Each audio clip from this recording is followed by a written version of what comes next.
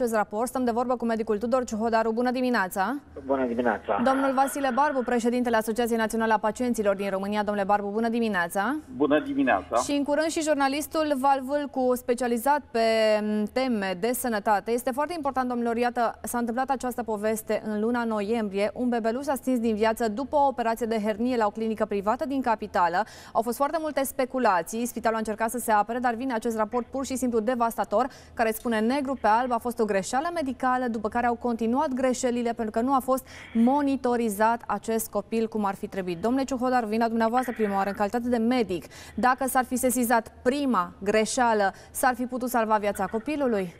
Cine greșește trebuie să plătească și vă reamintesc faptul că nu există bol, ci bolnav și în cazul oricărei intervenții chirurgicale se presupune că există o întreagă echipă medicală, vorbesc de chirurg, de anestezist, de terapie intensivă, de măsuri complexe care asigură o monitorizare permanentă a pacientului, în așa fel încât să se surprindă la tip eventuale modificări în starea acestuia și să poate interveni adecvat. Uh, am remarcat chiar așa, suficient cum a zis dumneavoastră, că nu există acea linie de gardă pediatrică, că nu a fost uh, asigurată toate măsurile de terapie intensivă în sensul monitorizării clinice, imagistice și biologice și vă dați seama că într-o astfel de situație, chiar dacă acest accident, hematomul retroperitoneal pe care l-am suspicionat și noi de la început când ați prezentat cazul, ar fi putut fi descoperit și intervenind, șansele unui astfel de pacient evident erau cu totul și cu totul altfel. Există reguli foarte clare în ceea ce privește evoluția postoperatorie și ele ar trebui să fie respectate, iar dacă ar fi fost monitorizat uh, inclusiv clinic, orice modificare în starea pacientului pacientului, scăderea tensiunii arteriale, creșterea frecvenței cardiacă, transpirațiile, alterarea stării generale, uh, disney ar fi fost indicatori care ar fi putut sugera că nu este ceva în ordine legat chiar de actul operator și că există o posibilă hemoragie într-o anumită zonă, iar monitorile de monitorizările făcute pe laborator ar fi putut evidenția aceste modificări ale constantelor biologice în sensul că se pierde sânge undeva în organism. În plus, există metode imagistice care pot să evidențieze acest schema hematom retroperitoneal, iar intervenția de urgență în astfel de situații ar fi fost salvatoare. O să mai fac și o paranteză. Să știți, să știți că, din păcate, malpraxisul în România se îngroapă adesea odată cu pacienții și că această lege a malpraxisului parcă este făcută mai mult să protejeze societățile de asigurare decât pacientul.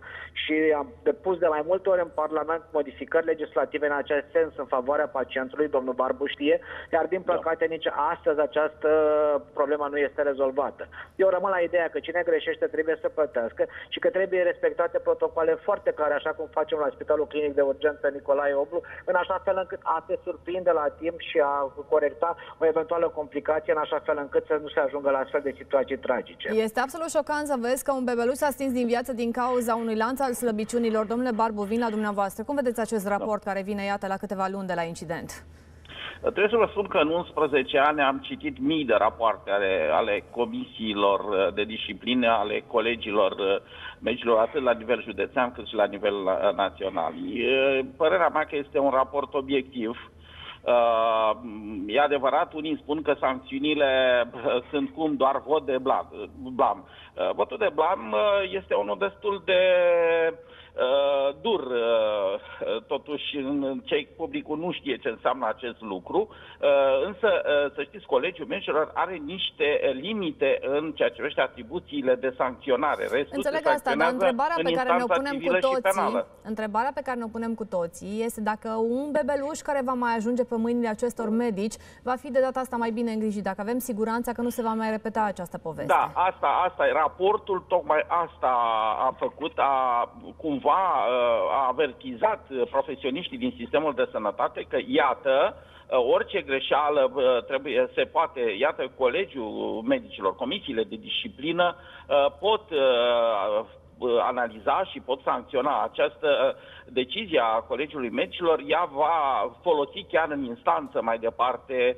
apărătorilor familiei în cauză. Și uh, e un pas, e un pas, după părerea mea, uh, v-am spus, trebuie să înțelegem cum se cuvine uh, limitele, limitele în ce privește sancțiunile date, limitele legale uh, date de Colegiul uh, Medicilor și votul de blan, uh, uh, deși și pentru mine mi se pare o măsură uh, nu, greșeala, a murit un copil și greșeala e foarte gravă, dar știu că aceste comisii nu au atribuții în ce privește sancționarea din Mulțumesc. alte puncte. Iată, în, în acest caz, Uh, nu putea să le interzică să profeseze pentru că legea nu, nu permite și drepturile profesionale nu permit uh, luarea acestor măsuri. Deci Mulțumesc eu foarte unul mult, zic că Barbu. este un pas în ceea ce privește funcționarea comisiilor, uh, un pas spre bine. Val Vâlcu, de ce